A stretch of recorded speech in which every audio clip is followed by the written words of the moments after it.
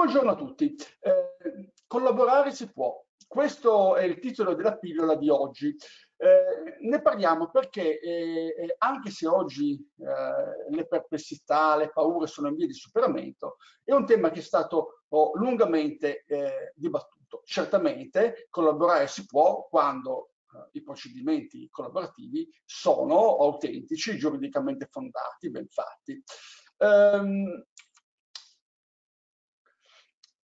Proviamo a eh, eh, fare un passo indietro. Eh, allora, eh, certamente eh, sappiamo che i rapporti tra un ente pubblico e altri soggetti, in questo caso specifico ci interroghiamo sul terzo settore, possono essere di tipo diverso. Quello che noi eh, tendiamo ad affermare è che la competizione, quindi il, l'appalto per scegliere un fornitore e la collaborazione, di cui parliamo diffusamente in queste pillole, sono due strade ugualmente legittime. Eh, ragioneremo su quando è utile seguire una o utile seguire l'altra. Eh, togliamoci subito diciamo, un, un, un possibile, è un possibile equivoco. In entrambi i casi la pubblica amministrazione persegue un interesse pubblico. Eh, quando si collabora non è per fare un favore al terzo settore, come eh, ancora pochi anni fa qualcuno pensava. E non è un modo, diciamo, meno imparziale, in cui non si usa, non si, eh, eh, non si trattano tutti i soggetti allo stesso modo, in cui vi è minore trasparenza. Al contrario, sono, eh, eh, eh, que tutti questi criteri sono indifferenti al fatto che si scelga una strada competitiva o collaborativa imparzialità, parità di trattamento, trasparenza, pubblicità, non discriminazione di nessun soggetto eh, interessato e aventi titoli per partecipare a un certo procedimento. Allora la domanda corretta diventa, diventa quando eh, è sensato usare strumenti collaborativi e quando invece orientarsi verso la competizione.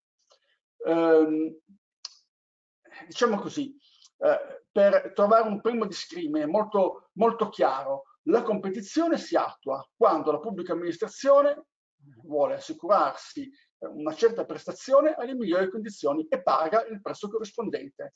Mi servono eh, 500 ore di educatore professionale, le pago quanto il mercato prevede.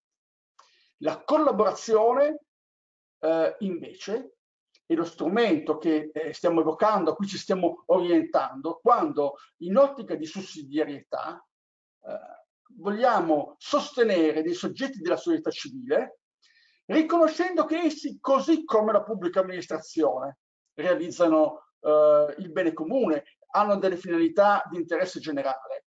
Eh, però mi rendo conto che il fatto di essere nella prima o nella seconda situazione, in gran parte dipende dalle, da scelte politiche, dalle strategie di intervento, non dal bisogno in sé, cioè uno stesso bisogno può essere soddisfatto in un modo o nell'altro. Facciamo degli esempi, forse è più chiaro. Eh, ci sono molti anziani su un territorio eh, e, e ci rendiamo conto che eh, potrebbero vivere da soli, ma eh, non avendo nessuna rete di supporto, vengono messi in una struttura residenziale, in una casa di riposo, perché appunto non, non, non, hanno gli aiuti necessari. Cosa faccio? Strategia 1. Ritengo che il modo migliore per rispondere a questo bisogno sia l'acquisto di una determinata prestazione, tot ore di assistenza domiciliare. Allora ho scelto. Se io ho scelto questa strada, quella che trovate sulla sinistra eh, del, del, dello schermo, eh, dovrò cercare sul mercato eh, chi eh, riesce a assicurarmi questa prestazione nel modo migliore, eh, dandomi il miglior rapporto prezzo-qualità. Oppure posso fare un'altra scelta, eh, orientarmi verso un'altra strategia per rispondere allo stesso bisogno. E posso dire, voglio promuovere, supportare cioè, un ampio concorso di forze che sono diverse, sono professionali come quelle di una cooperativa, ma sono volontarie, il mutuo aiuto, il vicinato e così via, per andare a costruire con l'impegno e la responsabilizzazione di tutti, eh, un sistema che consente alla persona anziana di rimanere il presso il proprio domicilio.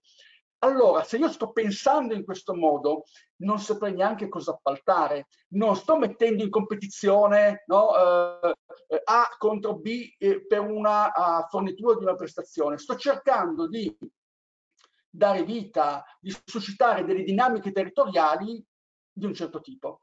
Allora dovrò utilizzare strumenti collaborativi. Facciamo un altro esempio. I giovani del territorio sono particolarmente soli, durante l'era Covid si sono tutti rinchiusi in casa a giocare con i loro cellulari.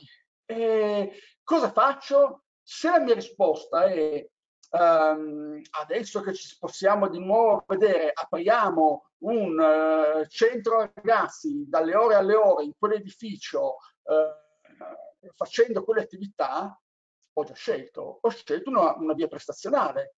Um, se invece dico eh, come faccio a affrontare questo problema? Devo mettere insieme l'oratorio, eh, l'associazione eh, musicale, eh, l'associazione polisportiva, la cooperativa di educatori eh, e così via, che tutti insieme si mettano a realizzare un sistema che eh, tira fuori i ragazzi di casa e li fa riannodare delle relazioni, allora io sto pensando in modo collaborativo. Quindi non è solo il bisogno, anche il bisogno, ma non è solo quello a dirmi qual è la strada da seguire, ma è la mia strategia di risposta per cui io posso ritenere prevalente un aspetto prestazionale o una strategia sussidiaria e collaborativa. Eh, ci saranno altre pillole che approfondiscono eh, questo, questo tema, ma solo per iniziare a fare un po' di, di eh, chiarezza a questa immagine eh, la, la, proposta per, per, la prima volta eh, Luciano Gallo che eh, sarà autore di alcune altre pillole. Noi allora abbiamo da una parte i principi generali, eh, abbiamo visto mh, de, principi generali dell'azione amministrativa, quindi eh, la trasparenza, l'evidenza pubblica, la parità di trattamento. E poi abbiamo visto che le strade si dividono. Voglio acquistare prestazioni o voglio seguire una strategia sussidiaria collaborativa? Scelta politica. Quando vedete le due vie eh, su, sulla parte bassa dello schermo che si biforcano, è il momento della mia scelta. Eh, di conseguenza cercherò gli strumenti. Vedete che gli strumenti sono alla fine del percorso logico, non all'inizio. Io non scelgo di utilizzare l'appalto o la progettazione, io scelgo prima di tutto cosa voglio fare e poi di conseguenza qual è lo strumento più adeguato per raggiungere questo risultato. Se io eh, scelgo una strategia eh, basata sulla competizione eh, o il mio armadio, apro l'armadio, il codice dei contratti pubblici, mi dice cosa devo fare. Benissimo. Se io invece ho scelto la strada che abbiamo visto prima, abbiamo denominata sussidiaria eh, collaborativa, e certamente devo fare un piccolo sforzo in più ed è questo forse eh, il motivo che ha reso alcuni amministratori locali fino a tempi molto recenti eh, un po' diffidenti verso questi strumenti. E sì, perché io ho, ho un software amministrativo l'articolo 55 di cui parliamo in, in queste giornate, eh, ma anche altri, storicamente ad esempio il DPCM 30 marzo 2001, applicativo della 328, che dicono delle cose, però io li guardo e dico ma come faccio? Eh, come faccio con le procedure? Insomma, nell'altro armadio, quello sulla sinistra dello schermo, avevo tanti articoli che mi dicono esattamente cosa fare. E qua invece ho un singolo articolo che mi dice delle cose piuttosto scarne. Beh, ecco, teniamo presente, questo la Corte Costituzionale lo ha riaffermato con forza nella sentenza 131, di cui spesso parleremo in queste giornate, da un punto di vista dei procedimenti, vi è un riferimento, una sorta di hardware eh, amministrativo sottostante che è nella legge 241-90, cioè nella legge sul procedimento amministrativo che qualsiasi ehm, amministratore pubblico utilizza quotidianamente per una pluralità di questioni. Non ne approfondisco perché poi ne parleranno eh, Luciano Gallo, Luca Gori e sicuramente molto meglio di me. Eh, ma questo per dire che insieme all'innovatività degli strumenti collaborativi abbiamo un fondamento solido e certo da un punto di vista eh, procedurale. Eh, e quindi eh, io spero di, di, avervi comunicato che gli strumenti collaborativi non sono mh, mm, eh, innanzitutto non sono una semplificazione, uno strumento borderline che gira dei vincoli, eh, non sono un modo un po' più semplice per fare le stesse cose che avrei fatto con un appalto. E non sono strumenti che sono applicabili sempre e comunque eh, e qualunque sia la mia strategia, il mio orientamento eh, per soddisfare i bisogni eh, di un, territorio. Eh, gli strumenti collaborativi sono innanzitutto il frutto ultimo cioè la coprogettazione, il frutto ultimo di una diversa concezione della società civile, no? Eh, per cui io, mm, eh, amministratore locale, riconosco che quei soggetti di terzo settore hanno la mia stessa uh, finalità, sono alleati nell'affrontare uh, un bisogno del, del, territorio, non sono fornitori. Eh, generalmente eh, queste opzioni diciamo, collaborative si accompagnano a percorsi partecipativi, cioè ho nella mia mentalità che eh, amministro oh, oh, favorendo la partecipazione di soggetti diversi al processo amministrativo. E certamente poi garantisco in ogni fase, dall'avviso al lavoro nei tavoli, imparzialità, parità di trattamento, no, evidenza pubblica, ho dei eh, criteri predefiniti che mi guidano e ho fondamenti procedurali che sono diversi dal codice degli appalti, ma abbiamo visto altrettanto solidi. Quindi, per finire, cos'è cambiato di recente? Beh, la, la, consapevolezza recente, ne parleremo meglio anche in un'altra pillola, è che si può. Non vuol dire che si deve, ma si può. Um, questo perché, eh, paradossalmente, sino a pochi anni fa, l'amministratore pubblico eh, riteneva eh, magari che sarebbe auspicabile agire in modo collaborativo, però, però eh, la via maestra per rapportarsi con soggetti terzi era la competizione, l'appalto. No?